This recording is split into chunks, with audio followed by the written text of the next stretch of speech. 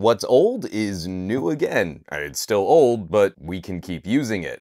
Hey there, this episode of Some Gadget Guy is brought to you by viewers like you, all of the incredible people sharing content across social media, and the generosity of my patrons at patreon.com slash somegadgetguy. More info on those awesome nerds later in the video. This is my old Razer Blade 14. It's going on 10 years now. It was my main machine for writing and editing video on the go. One of the most well-traveled gadgets in our home. It's been all over the world in regular use during my time at Pocketnow, and it was only kind of replaced as I started doing more short edits on phones directly, and later getting some tablets, and then my new uh, Surface laptop, and that finally retired this bad boy for good. So it sat on a shelf for a while, and I just didn't think much of it until that Windows 10 deadline arrived. See, this machine is old. It has an Intel 6700Q 6th gen Core i7 laptop chip with a GTX 970M dedicated GPU. I kind of got burned on both models of that GPU.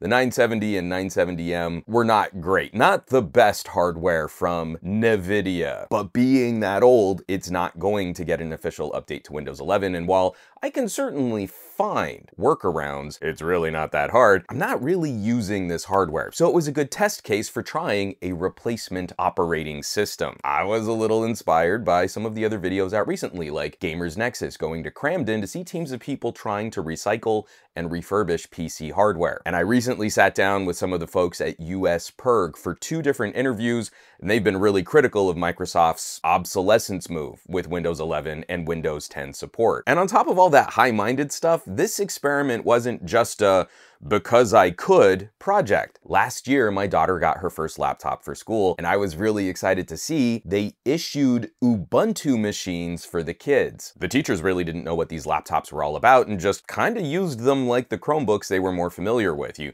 open Chrome and you use Google Docs. It's pretty much the same. But kids like my daughter realized that everything they did in Google Apps, her teachers could see, but what she did locally on the laptop, like writing her short stories in LibreOffice, was virtually invisible to the teachers and faculty. So she started playing with Audacity and GIMP and Shotcut, and she genuinely likes Ubuntu. So this machine is 10 years old, but it's still significantly more powerful than the school laptops we're issuing to kids today. Right now we're in that phase. Those little N100 chips, are, they're nice, they're punchy, and single core performance is actually pretty close to the 6700 in this, but the Blade is going to be more powerful in multi-core CPU situations, and even for a dog of a GPU, it's wildly more powerful than the GPU in her school laptop. Beyond just performance, everything else is a massive upgrade. The machine is built nicer, metal chassis, the 3K touch display, higher quality speakers, and higher quality headphone playback. It was one of the first Windows laptops with Thunderbolt 3. The keyboard and trackpad, so much nicer. And even for those of you that are starting to make fun of the bezels on a 10-year-old laptop,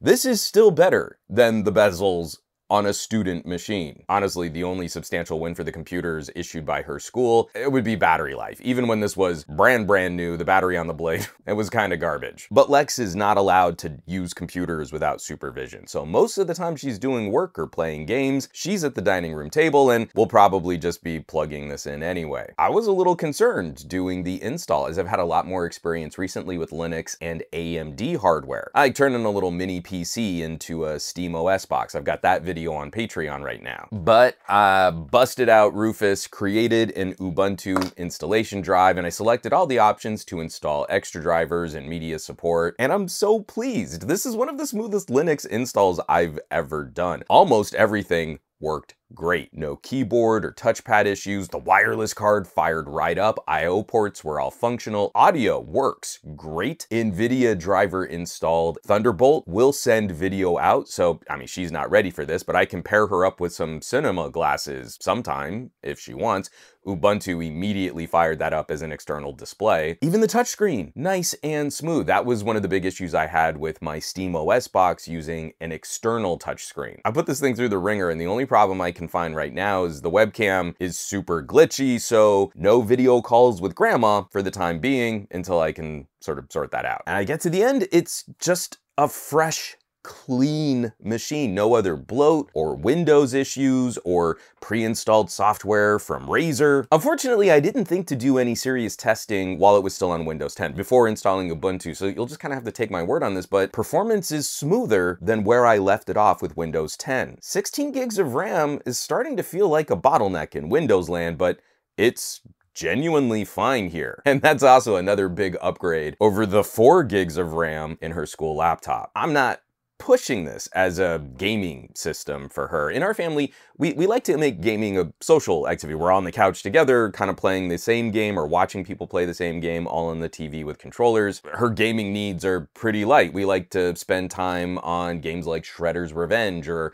Sonic Team Racing, and this 10-year-old system handles games like that okay. Just looking at this hardware, if anything, switching to Ubuntu has been kind of a performance uplift as that seems to have less overhead than Windows 11. So I'm going through everything to clean this up and set it up and it, it just reminded me of all the good times I had with it. I like to imbue my gadgets with a lot of personality and they hold a lot of memories. How much I liked this hardware and I got really close like, psych, sorry daughter, I'm just gonna keep it. but I have like three other laptops right now. So no, I am gonna give it to her, but it really drove home to me how we try to grade quality. We tend to position computers for kids and seniors as just buy them disposable junk because they'll break the computers or they don't need all that processing power. But a well-built machine well cared for, we're 10 years later, and the lower end consumer and student focused cheap machines are just now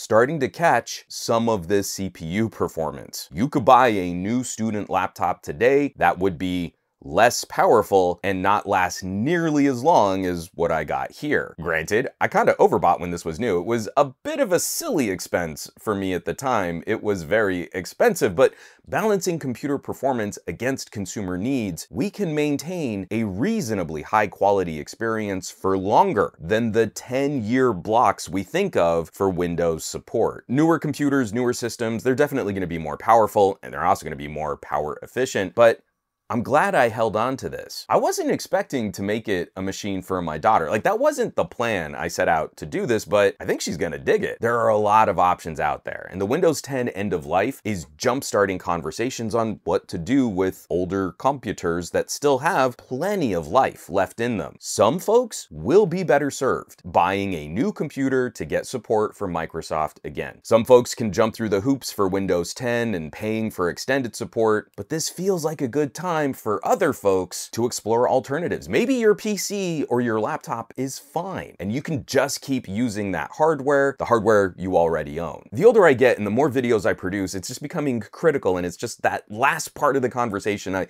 I want us to love what we buy.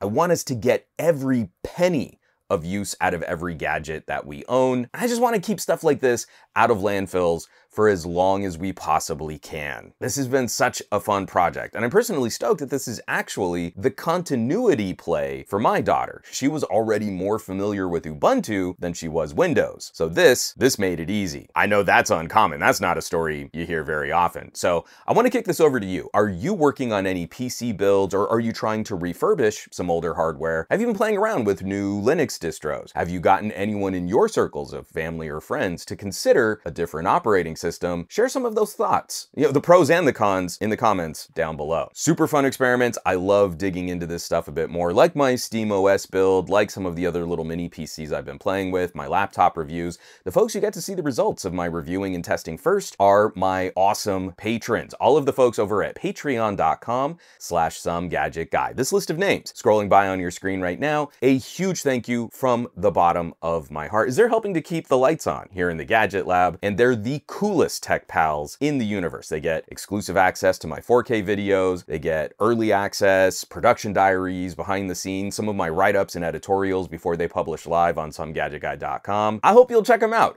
I hope you'll consider joining the community at patreon.com slash somegadgetguy. Now, you know where you can find me around the rest of the internet, probably for the next couple days on an Ubuntu machine. Nothing that matters when you're checking me out on the Mastodons. I'm not spending as much time on the Blueskis, but I'm still over there. And a lot less so on the Facebooks, Threads, Instagrams, and none at all on that dumpster fire site. And I will catch you all on the next video.